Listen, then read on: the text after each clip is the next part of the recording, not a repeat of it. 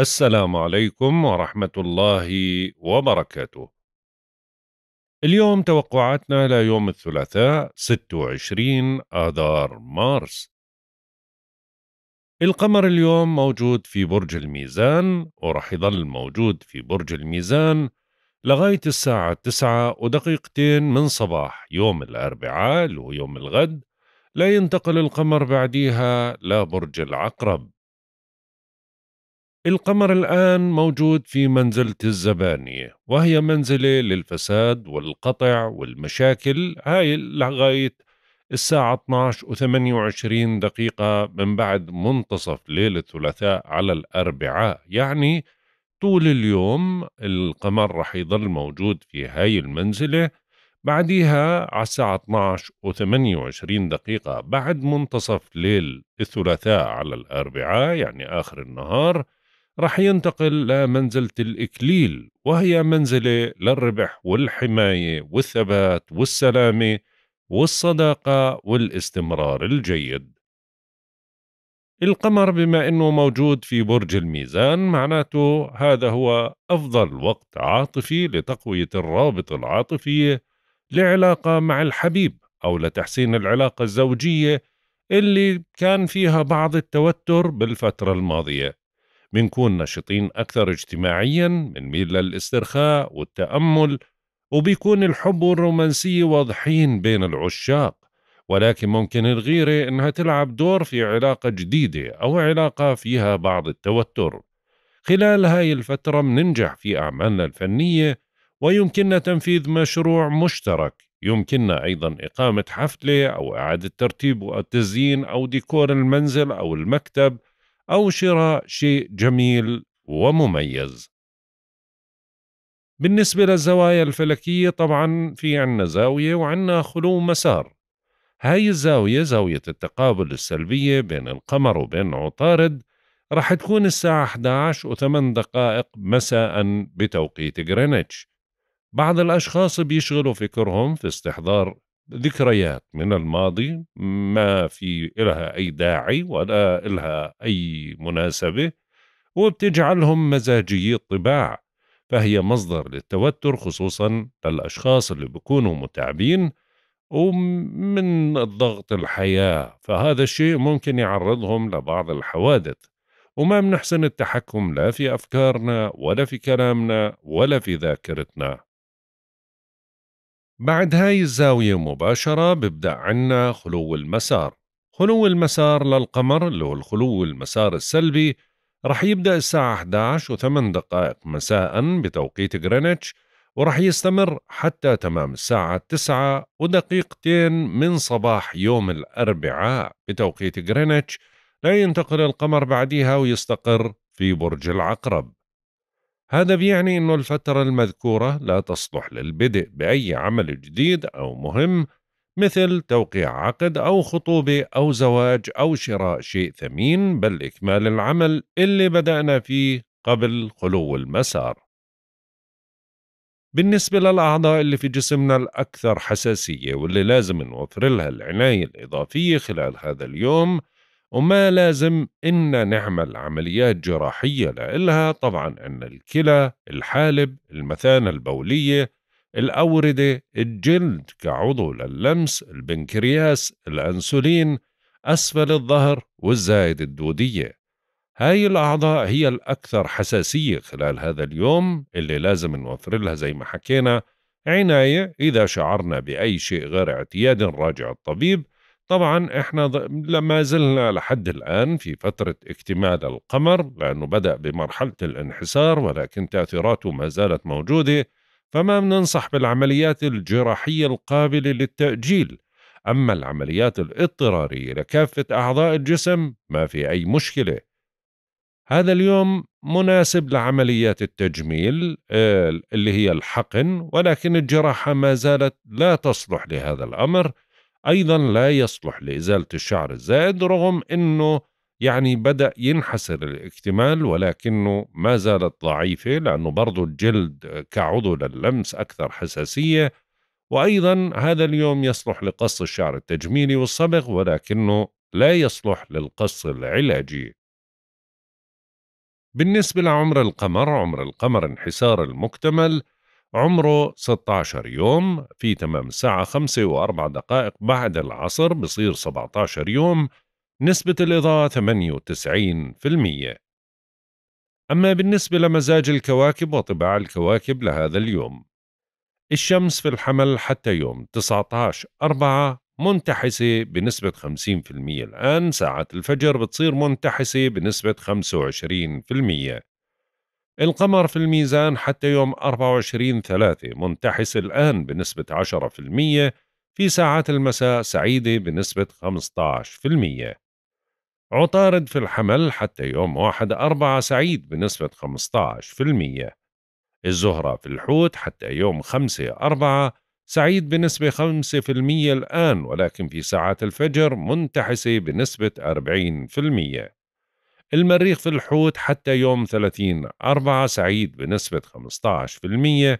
الآن وفي ساعات المساء المتأخرة بصير منتحس بنسبة 25% المشتري في الثور حتى يوم 25 خمسة منتحس بنسبة 10% زحل في الحوت حتى يوم 29 ستة سعيد بنسبة 15% وأورانوس في الثور حتى يوم 1 9 سعيد بنسبة 15% ونبتون في الحوت حتى يوم 2 7 سعيد بنسبة 15% وبلوتو في الدلو حتى يوم 2 5 سعيد بنسبة 15% وصلنا للتوقعات اليومية. برج الحمل.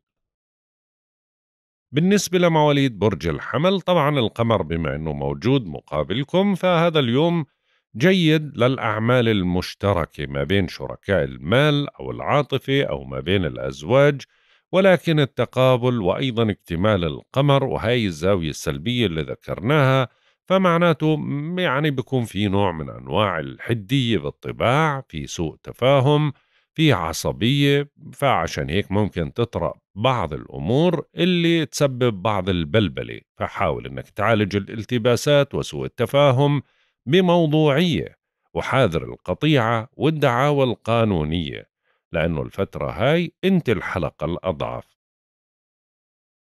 برج الثور. بالنسبة لمواليد برج الثور طبعا القمر ما زال موجود في البيت السادس فعشان هيك بضل التركيز على الأمور اللي إلها علاقة بالعمل. حاول إنك تنجز أعمالك بالكامل. ما تشتت نفسك في أكثر من عمل في نفس الوقت لأنه ممكن ما تقدر تتممها بالكامل فتضطر إنك تعمل وقت إضافي. أيضا بدك تنتبه لأنه رح يتراكم العمل عندك. حاول إنك تتعاون مع زملائك. انتبه من المشاحنات مع الزملاء. حاول إنك برضو يعني إنك تعمل لا تنجز الأعمال وانتبه لصحتك بشكل جيد. إذا شعرت بشيء غير اعتيادي راجع طبيبك. برج الجوزاء. بالنسبة لمواليد برج الجوزاء طبعا بظل الطاقة عالية جدا عاطفيا وأيضا ببعض الحظوظ. فعشان هيك بتشتد رغبتكم في التقرب من أحبائكم وتعزيز العلاقة معهم. وبرضه بتفيدك الاتصالات واللقاءات واليوم جيد للأمور اللي إلها علاقة بالترفيه أو التجميل اللباس أو تغيير الهندام أو المظهر.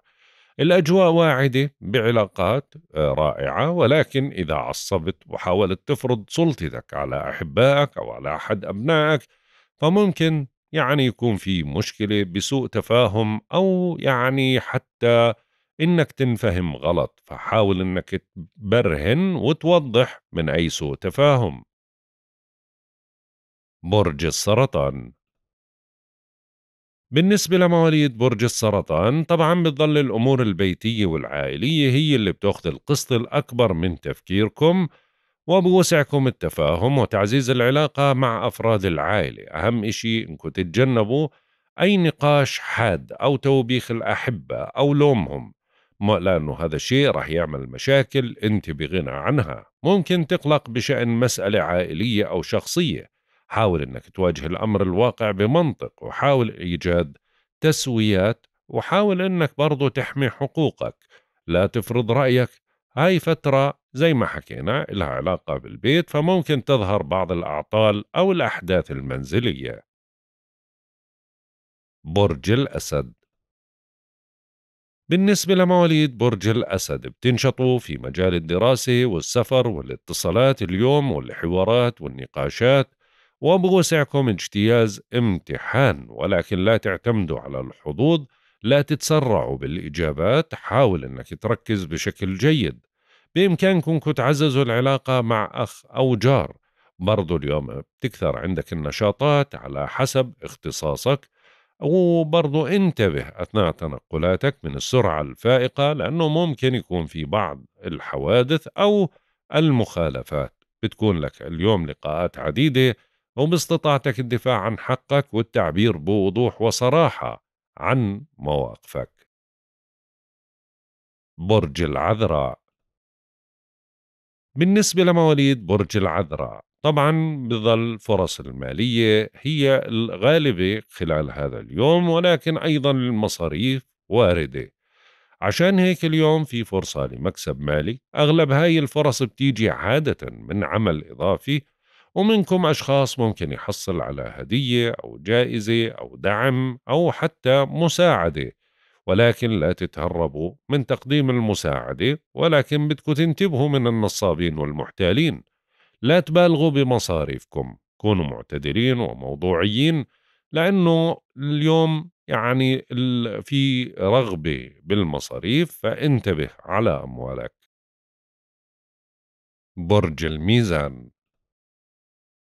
بالنسبة لمواليد برج الميزان طبعا اليوم بتبدأوا فترة أفضل حتى من الأيام الماضية إلا أنه بعض الأفكار ممكن تسيطر عليك. فعشان هيك حاول أنك تعيد لنفسك ثقتك لأنه راح تنجحوا اليوم بدفع بمصالحكم إذا ركزتم بشكل جيد شعبيتكم اليوم بتكون ممتازة وخصوصا مع الجنس الآخر تستعيد حماستك وبتنهمك بإدخال تعديلات أو تغييرات على روتينك أو على مظهرك.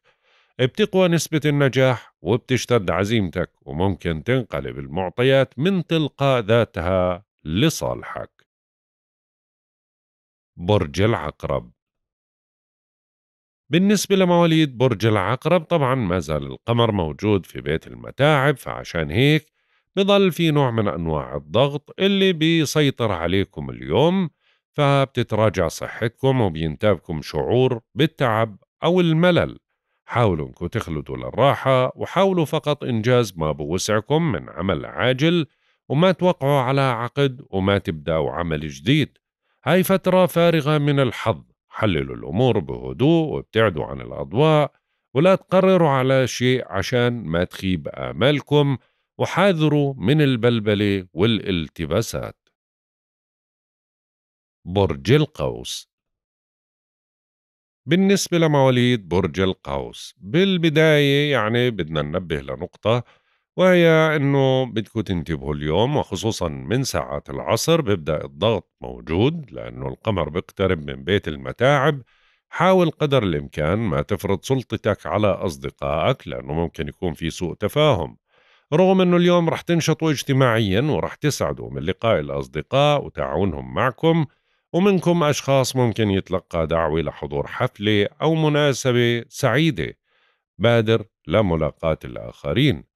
بيطمئن بالك لأنه اليوم ممكن تجد حليف يدعم تصوراتك وحاول إذا عندك أمر معين استعين ببعض معارفك. برج الجدي.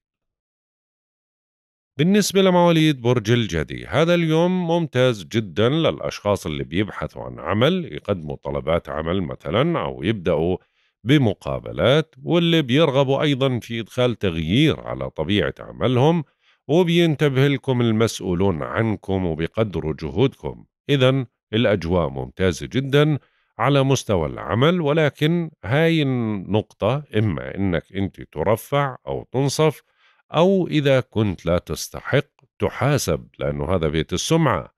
بتتسلط عليك الأضواء فممكن تخضع لعدة تجارب مهمة فما تضعف وما تجازف بسمعتك وحاول أنك تقوم بواجباتك على أحسن ما يمكن. وقدم أفضل المستطاع بدون مخالفة قوانين وبدون مجازفات. برج الدلو. بالنسبة لمواليد برج الدلو طبعا اليوم بتنشطوا في مجال السفر والاتصالات البعيدة والحوارات والنقاشات وهذا يوم مناسب لإجراء مقابلة أو اجتياز امتحان ولكن لا تعتمدوا على الحظوظ إذا كان الامتحان في ساعات العصر.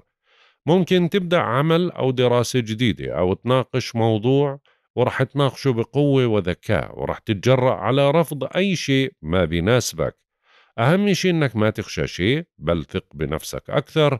هاي فترة مناسبة لخوض تجربة جديدة حتى على المستوى العاطفي الأجواء إيجابية جدا وداعمة للحوار والنقاش والتواصل العاطفي.